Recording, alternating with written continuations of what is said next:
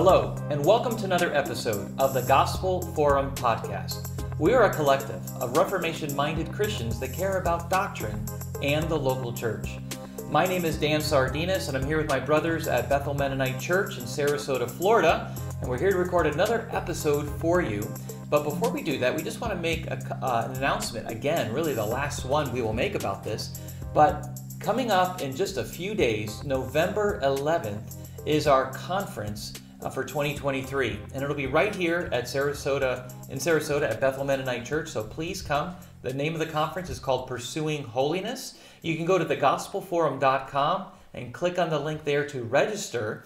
And you're going to want to do that before Friday night, November 10th, because at 9 p.m. Friday, November 10th, the prices will go up. Mm. Currently, it is $30 for individuals and 75 for families. But on the day of and really the night before, it's going to go up to forty dollars for individuals and eighty-five for families. And families is a so anyone expensive. three or more in your family. So why would you want to pay more money? Now. I don't know. Register and by family we mean household. Household. Right? Yeah, maybe yeah. the same household. Uh-huh. Um, yeah, we're not talking about the same church here. I can see like 100 people coming from the same yeah, church. right. This is my brother and sister and cousin in Christ. Yeah, yeah right. so, uh, but yes, it's going to be a great time. The Gospel Forum speakers, uh, guys will be there preaching. We're going to have breakout sessions. We're going to have a live podcast. And we're also going to have a Q&A panel. It's going to be a wonderful day. We're going to be having some food trucks. There's local restaurants to participate in or pack your own lunch. Mm-hmm. Whatever suits uh, your family best, then please utilize that option. And also, you're going to be receiving a book that we wrote for just this conference called Pursuing Holiness. And uh, it's a devotional uh, book, um, kind of short chapters about what it looks like to be holy in the Christian life. And we're excited, and all of us here participated in writing it. So yeah. we can't wait to get this into your hands. If you're not going to the conference and still would like a copy, November 11th, you could find the book on Amazon and either Kindle format or paperback, and you can order that through Amazon. And we'll make sure to put all the links on the, our website and episodes and all that good stuff. All right, enough of that. guys, how are we all doing today? Yeah, good. Yeah, it's awesome. good to be here with you guys this morning. Welcome to Bethel. Yeah, yeah. thanks for having us. sure. That's great. I am sleepy. Sleepy. yes, there's never enough coffee, uh, especially with a three month old. Three month old. Yes, Yay. yes. So, is she, this your first time back since uh, you've had the baby? I think it is. I think so. At least I, I haven't. So. Yeah, we haven't had Nick in a long time. It's been a while. It's been a little yeah. bit. Yeah. Yeah. Now, with that said, she sleeps through the night since oh. we brought her home. Wow. That's great. But you know, just dealing with some you know reflux stuff through the daytime. So you know, she cries a lot in the daytime. Yeah. So, but at least we sleep enough at night, at night. to deal with it in the daytime. Yeah. So, so, right, okay. but she's really cute. Uh, we have. You're not a, biased at all. No, no. Uh, Most but, beautiful baby ever. Typical dad talk. I agree, but she's got a lot of really cute Star Wars clothes that I keep sending oh. Dan. Yeah, I do like that. I do like that. So, yeah, yeah, I do like that. Oh, that's so great. really cool. Well, good. Well, guys, welcome. We're so glad. Uh, by the way, this is of course Sean yep. and Micah and Nick and Josh, yep. and we're so excited to be here. So join Josh us. hasn't been in a while. Josh has been a Josh long time. Well, well, last time we were at, at, Providence Church and we recorded yeah. a couple episodes yeah, there about AI and Christ-centered preaching. Yeah. Yes. Um, so definitely check those episodes out as well. Yeah. Well, good. Well, today let's get right into our main topic for the day, guys. And today we're going to be talking about parenting. We've been we've had a couple episodes already that Micah has led us through on parenting series, helping parents. And so, Micah, take us into this topic today and tell us what we're going to be talking about. Sure. Thanks, guys. Yeah, and just a, just as a reminder, this this has come out of our own uh, study that we did uh, as a church. Mm-hmm. Uh, we had a, a parenting class uh, this last summer. Uh, where we went through all these issues and I want to give credit. Uh, I don't know if I forgot to do it in our last episode, but I want to give credit to Capitol Hill Baptist Church. and a lot of this comes from uh, uh, is taken from their own Sunday school classes that they mm-hmm. offer uh, to anybody, to any Core church. seminars. Yeah, yeah, yeah, which is really helpful, uh, and also a big, a big uh, chunk of the idea of what we're going to talk about today comes from Tedd Tripp and and uh, his great book. If you haven't purchased it, read it, Shepherding a Child's Heart, mm-hmm. we would all recommend that as a, a, really foundational book on parenting. Mm-hmm. Yeah. Uh, but what we're talking about today is how do we uh, get to the heart of the behavior of our children? Uh, because we as parents, we have a role that God has given us mm-hmm. Uh, to teach uh, the statutes of God's word to our children, to teach who God is, teach the gospel, to model that. Uh, and so we have to not only protect our children, uh, uh, but warn them, uh, lead them in obedience to good and righteous things. But as parents, uh, if we're not careful, we can fall into a ditch of just trying to get their behavior exactly right. Yeah. And man, if I can uh, just if I can line my kids up and they're they're all perfectly dressed and they all say yes ma'am and yes sir and they don't talk too loud and run around and uh, reminds me of the uh, the kids and the Sound of Music. You know, the dad would blow the whistle and all of them would like. Well, that's right. Yeah. yeah. that'd be great, but yeah, maybe not. Yeah, sure. Yeah. yeah. yeah. So, you know, we we of course want our kids to uh, be walking obedience. We want them sure. to set a good example to other mm-hmm. children that and other families that we know. But how do we not fall into the ditch of just addressing their behavior mm-hmm. uh, without going to the deeper issues of the heart? Mm-hmm.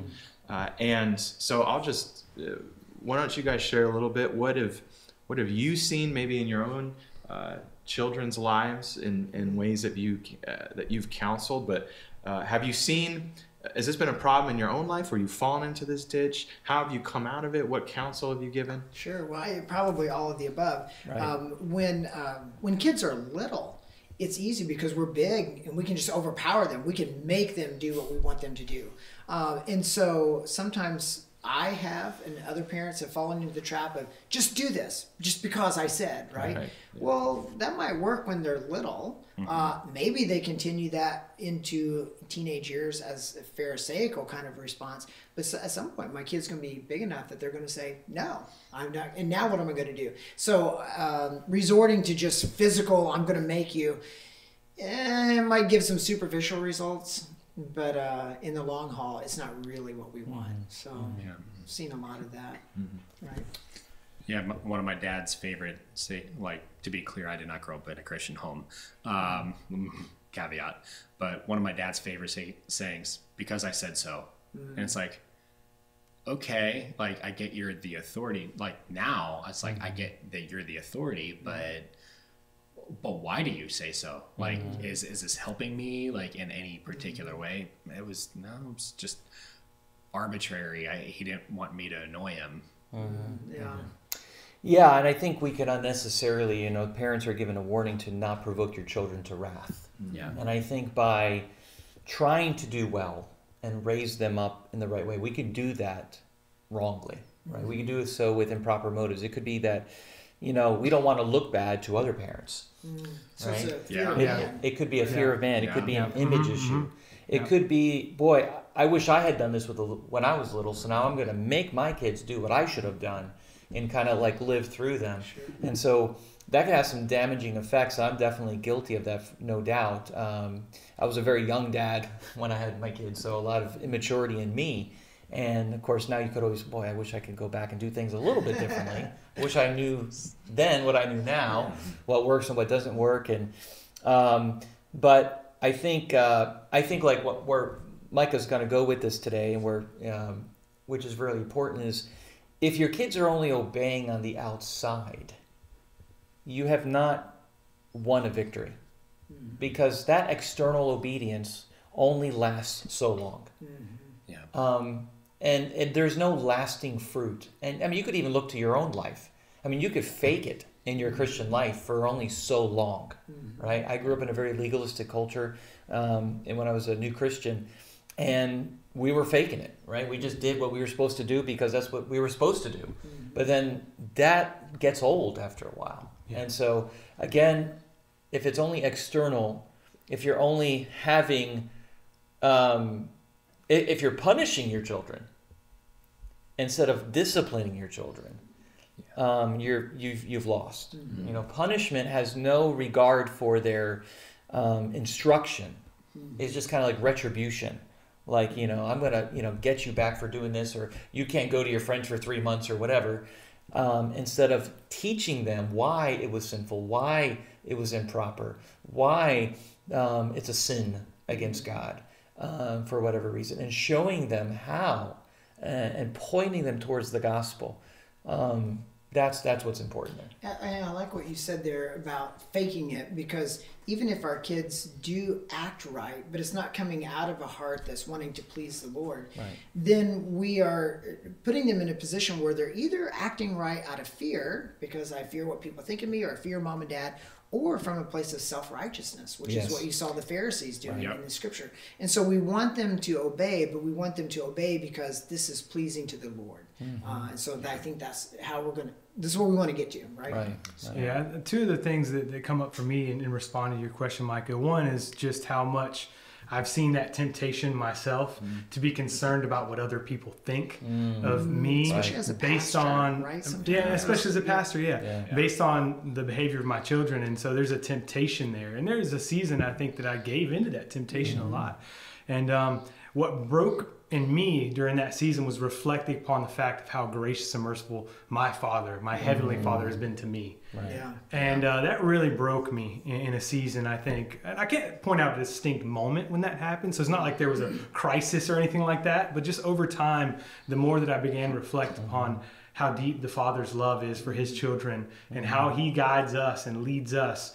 Uh, I've tried to keep that at the forefront of my mind as I'm shepherding, as I'm shepherding my children. Sure. Yeah. Yeah, that's good. One of the ways, uh, one of the reasons why is that it's not great to just focus on behavior is because behavior uh, is just a, a symptom. Mm. If you just treat uh, the behavior of our children, but you don't get to the heart, then you're not really getting to the disease mm. itself. Mm-hmm. Uh, and and Paul Tripp, or sorry, not Paul, Tedd, his Tedd, brother, yeah, Tedd, Tedd Tripp says it's like having an apple tree in your yard that only produces blighted, gnarled apples, and so you fix the tree mm. by buying new apples and hanging them on with fishing line. so wow. I like that. I, have heard stapled on nice. yeah. I've heard that one, but I've not heard that. That's, yeah. So you're not changing the nature of the tree. Yeah. Right. yeah. You're putting on a show. And yeah. so uh, when our children disobey, when they act in a way that is not righteous, they are showing us uh, the behavior is telling us something about their hearts. Mm. And so uh, it's our job as parents to diagnose and to go to that issue. Mm. Yeah. Uh, the heart is important because the Bible teaches that the heart is the control center of our behavior. Mm. And so yeah. our behavior reveals our hearts. Uh, Proverbs 4:23 says, "Above all else, guard your heart, for it is the wellspring of mm. life." Mm-hmm. And so our lives flow out of our hearts uh, revealing what we worship, what we fear, what we trust, what we hope in, all these things. Yeah. And of course, we know that Jesus said, uh, talks about this as well. What, what comes uh, within, out of man's hearts, it comes evil thoughts, sexual mm-hmm. immorality. He goes through that list. Mm-hmm. Uh, and so that's the first thing that we have to look at as parents is that uh, the our, our children's attitudes, actions, behavior is a reflection of their heart. Sure. Uh, Jesus also uh, said, out of the overflow of the heart, the mouth speaks. Yeah. So yeah. why did you say that really nasty mm-hmm. thing right there? Mm-hmm. Well, my heart. Yes. Right? My yeah, heart. I remember uh, one of the first times I read that, like when I first became a Christian, like, um, you know, I was working through this with with someone at the time, and uh, they're like, like, yeah, look, it says out of the overflow of the heart, the mouth speaks. So what you speak is only overflow. How much mm. more is in there? Mm. And it just really convicted wow. me. I'm like, man, yeah. I really need to check my heart then. Yeah. Right. right. Yeah. Well, I mean, Jesus says that's a lot of the Sermon on the Mount mm. focuses on the heart. Mm-hmm. Yeah. You know, um, you know, you've heard it said, you know, whoever looks at a woman to lust after her. Yeah, we're actually going through that right. literally right, right now yeah. on Sunday. Yeah. I, I, said that backwards. You, have heard it said, "Don't commit adultery," but I yeah. say, yeah. you know, whoever looks at a woman. So again, he goes to the heart. You've heard it said, "Don't murder," right? But I say, if you harbor a- anger or bitterness in your heart, you've already committed murder. So Jesus goes right. to there because it's the Pharisees were saying, "Oh, we're good. We haven't done this, that, and the other," mm-hmm. but then their hearts were still far from that. Mm-hmm. Now we're touching on something I think should be also very helpful to us, and that is we share something in common with our children, and that's that we are sinners. Yes. Indeed, we don't we don't share that with our heavenly Father. Right. Yeah. And so while we reflect upon how our Heavenly Father loves us, we have to acknowledge that difference. Sure. One thing that we do different in our parenting than what God does with us is we have to repent before our children at times. Mm-hmm. I think that's been a, a very impactful thing in my in in our parenting. My wife and I, we've we committed a long time ago that when we sin against our kids, we're going to repent to our kids. Mm, yes. Yeah. Repent before God and repent to our kids, and we model that for them. Yeah. And so, how else are they going to learn repentance if we as parents are not actually repenting when we sin against them? Mm. Amen. That could be the most impactful um, scars, actually, if we don't do that. Yeah. They could lead them down the wrong path later on, mm, or sure. lead them to, you know, tie fruit on the tree with fishing line, right? Right. Yeah. Right. Yeah. and, and and keeping in mind uh, as we are uh, desiring to get to the heart of our children that never means that we ignore bad behavior disobedience. Yeah. and so that has to that always has to uh, be addressed. Uh, we our parenting is uh, designed to control behavior. Uh, but uh, we if we're not careful we can fall into the trap that jesus rebukes the pharisees uh, for for honoring god in their behavior while rejecting him in their hearts. And so when we fo- when we focus solely on outward behavior we can encourage our children to become pharisees. Uh, and some practical things uh, f- for anyone who's uh, listening, watching, what does this look like? Well, it can look like a couple things. It can look like bribery, where you say, "Oh, if you'll be good in the store today, mommy will buy you whatever," and so you're hanging an apple. Uh, just a random penalty. All right. Well, the next time you say "shut up," you're going to have to put a dollar in the jar. You you hang it you hang an apple, or you can use guilt and manipulation. You say, "Well, it just." Makes me so sad when you disobey. You've now ruined daddy's day. Yeah. Uh, hang an apple. Uh, or fear. Fear of man, where you say, That's it. I've had it. You're grounded for three months. Yeah, like you've been doing this. this all day. You're not going to listen. Three You're going to get it now. Yeah. Or we, we mentioned like forced obedience. Say you're sorry. Yeah. Share the toy. Yeah. You hang an apple. Yeah. And so we've got to control behavior, but that's not the whole story. Right. Yeah. Uh, and uh, Tedd Tripp also says here, he says, What must you do in correction and discipline? You must require proper behavior. God's mm-hmm. law demands that. You cannot, however, be satisfied to leave the matter there. You must help your child ask the questions that will expose the attitude of the heart that resulted in wrong behavior. Mm-hmm. How did his heart stray to produce this behavior? In what characteristic ways has his inability or refusal to know, trust, mm. and obey God resulted in actions and speech that are wrong? Yeah. I remember one time working through a situation. One of my boys was having a squabble with one of the girls and uh, grabbed the toy and hit, and, having to pull my son aside and started to ask some of these questions. Uh, what did you do wrong? Well, I hit my sister. Okay, well, uh, why? Well, I wanted the toy. And we kept going down that line and finally got to the place where we could say, you know what? Uh, your heart was worshiping that toy, wasn't it? Instead of having a heart of generosity, you had a heart of self and me. Um, and I remember in that moment, my son breaking down and crying. He was very, very young, crying and saying, Dad, I just can't do what you're asking me to do because he saw his heart. Mm-hmm. And I said, I know, son, you need a Savior. You mm-hmm. need someone to help you. Let's pray and ask the Lord to help us have a heart of mm-hmm. generosity. And so trying to get beyond just go give your sister the toy back to Yeah. What prompted this? What brought this about? Yeah. Uh, Now we've had to have that conversation hundreds of times since, um, and still working on it. But you know what? Uh, the same thing God, our Father, Heavenly Father, does with us. Sean, why did you do that? What's in your heart? Um, and so it's it's a long process. It's much easier. Smack my kid on the hand. Give your sister the toy. Now everything looks like it's fixed. The process of asking these questions and getting the heart. It's longer in the moment, but it has much longer term benefits than just smacking on the hand. So Very good. yeah. Yeah, the the outward appearance, you know, imagery that's uh, been given already, like it, it reminds me of Jesus's words in Matthew 23 when he's speaking all the woes to the Pharisees. You know, he says, "Woe to you, scribes and Pharisees, hypocrites! For you clean the outside of the cup and the plate." But inside they are full of greed and self indulgence. You blind Pharisee, first clean the inside of the cup and the plate, uh, that the outside may also be clean. No- notice what he says there is like, clean the inside so that the outside can also be clean. Um, you you had brought up uh, Matthew five.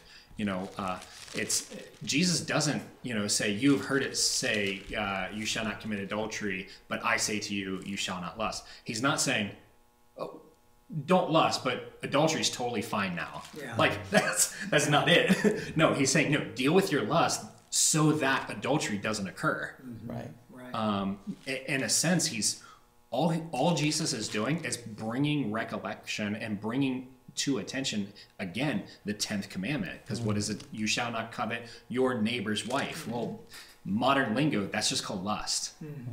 right.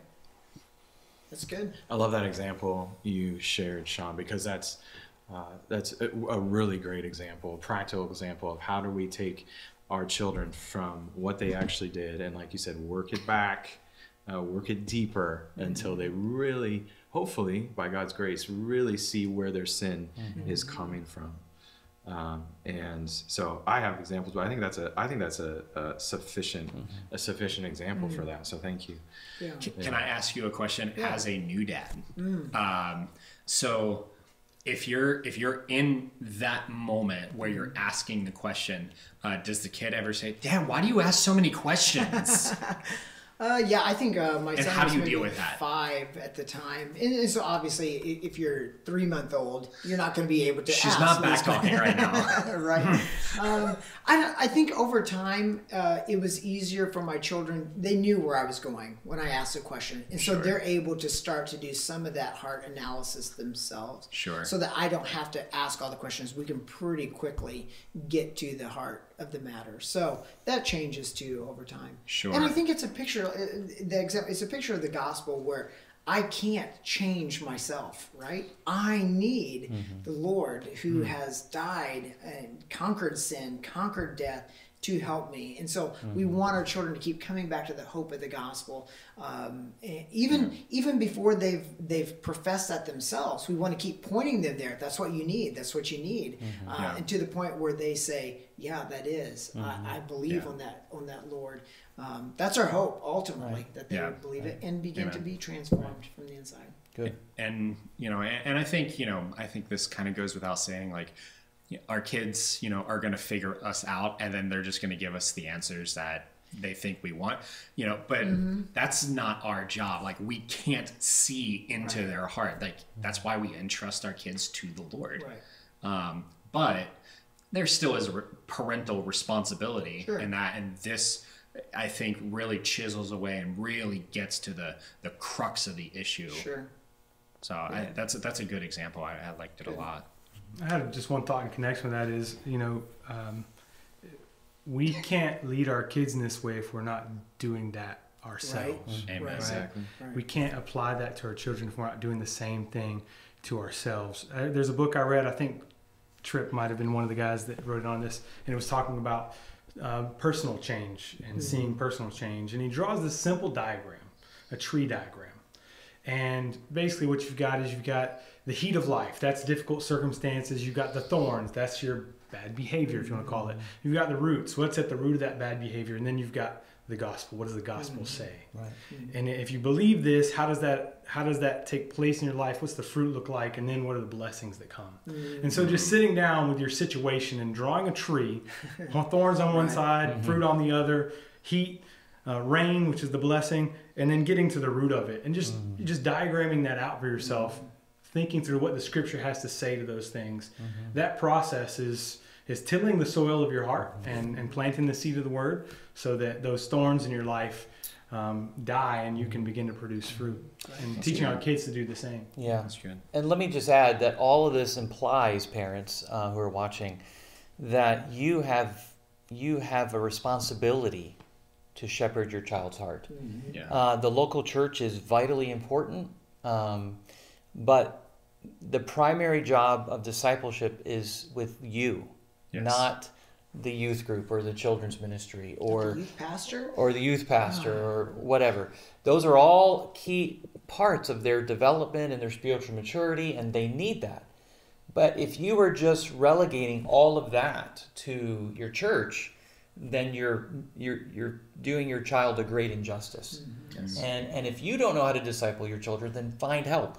Yes. you know, go to your elders, go to other godly parents um, in, in in your church, and ask for help. They'll, I'm sure they'll be glad to help you.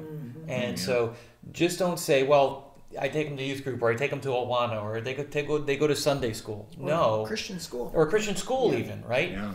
Um, all this implies that you are taking the initiative to shepherding your child's heart, not just leaving it to somebody else. Yeah. Good. Amen. That's good. Good. Anything else to add to that? I just say what what encouragement can we give uh, moms, dads in this because this is hard work Oh. uh, and this requires consistency. Uh, and there may be some families that are seeing little fruit in this area, and so how can we uh, encourage them in that?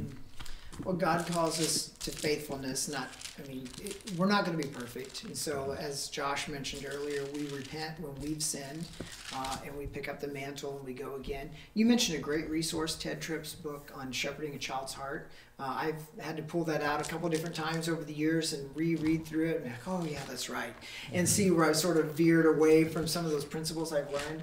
Um, and I think just your encouragement that this is hard work. It's it's not for the faint of heart. It's it's not something you do once and it just is done. Right. It's it it happens again and again.